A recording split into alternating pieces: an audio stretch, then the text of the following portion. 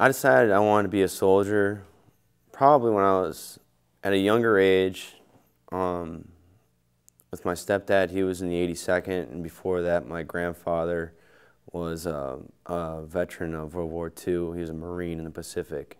And then I grew up watching John Wayne movies and kind of wanted to live that life, if you will.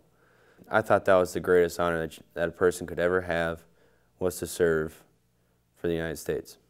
I was doing very well going through basic training and the drill sergeants noticed it early on and they asked me if I wanted to be a ranger. I was like, what's that drill sergeant? He's like, roger that, you're gonna go be a ranger.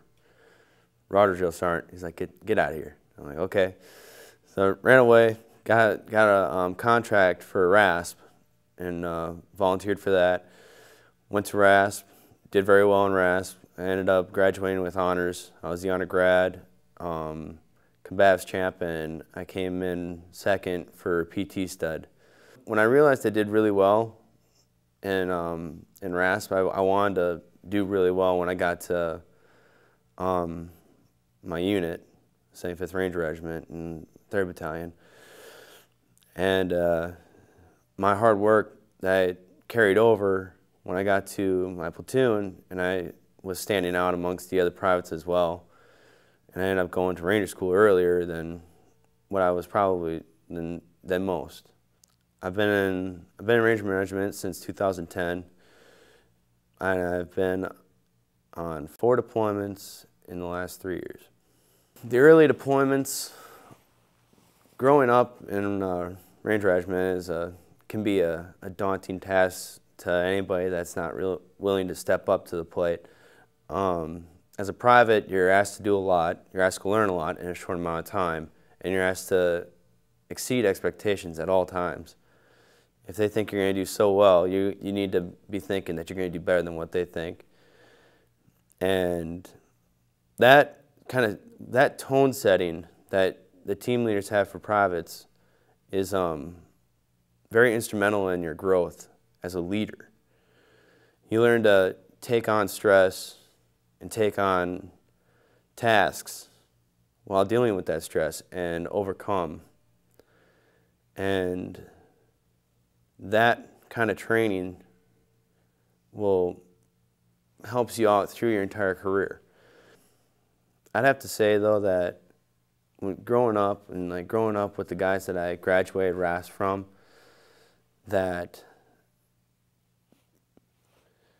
going through the same um, hardships that everybody else has gone through and then, you know, succeeding at it, being successful at going through those hardships really set the tone for my time that I was going to be, that I was, that I, that I'm in um, with the Ranger Regiment, my platoon, and my company.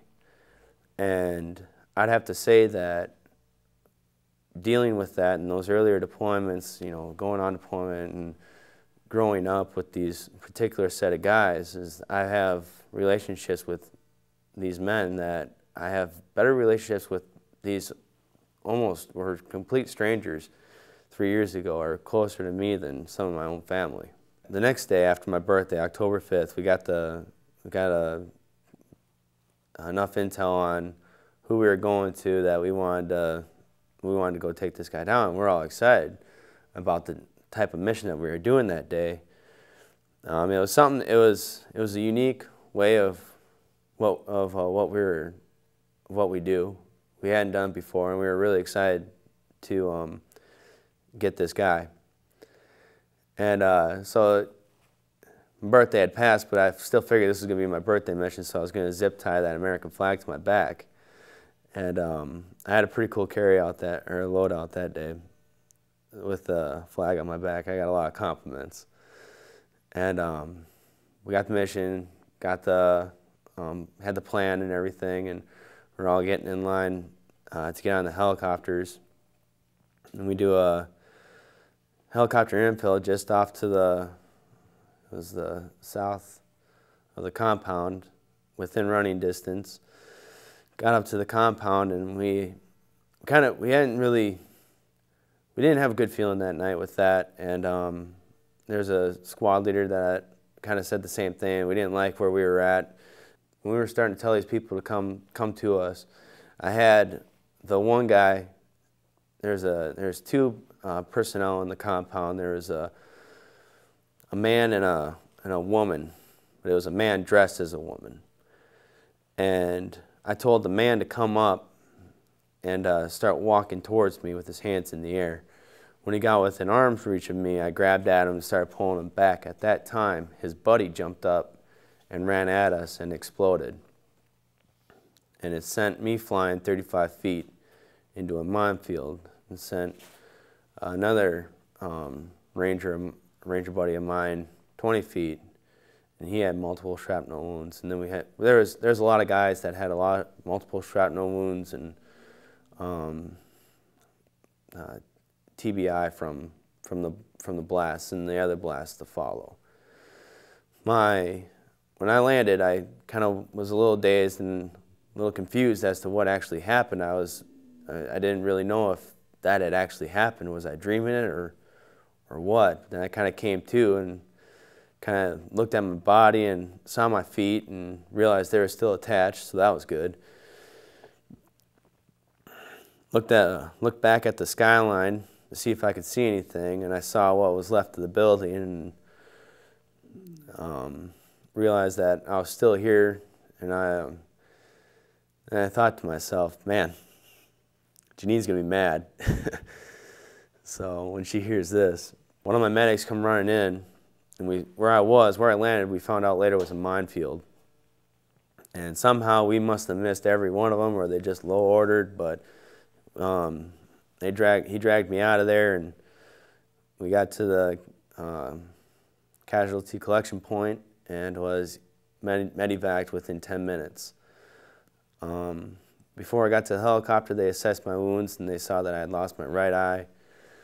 Um, had a collapsed left lung, and my foot was broken with multiple shrapnel wounds in my legs, like up and down my left side.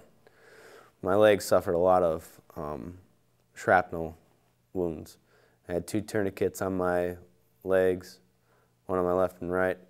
I had three needle decompressions in my chest, and I had um, the medic's fingers in my right eye socket because I was bleeding pretty bad out of it. We lost four good friends that day um, with uh, multiple injured.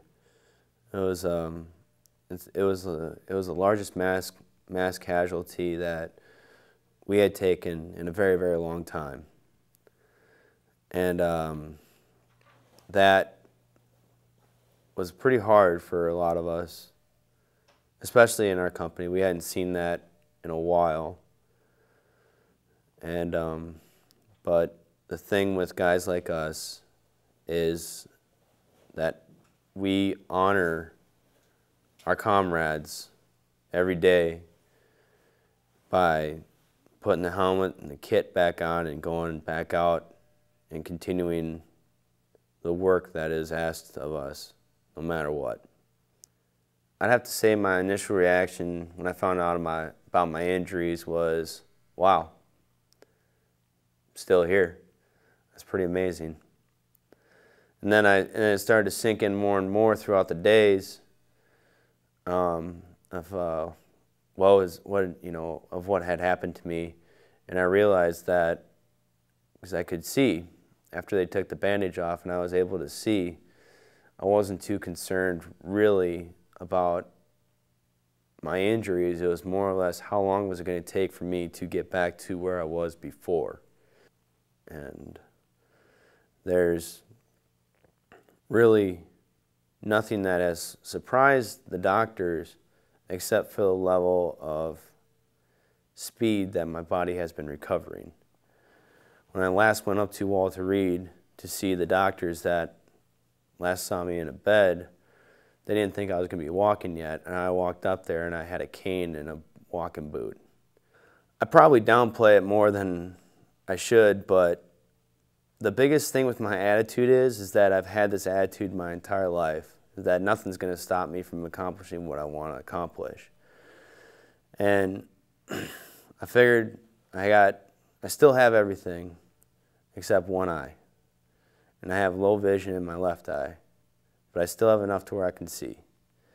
I can't drive right now, but I can run. I'm just waiting on my foot to heal.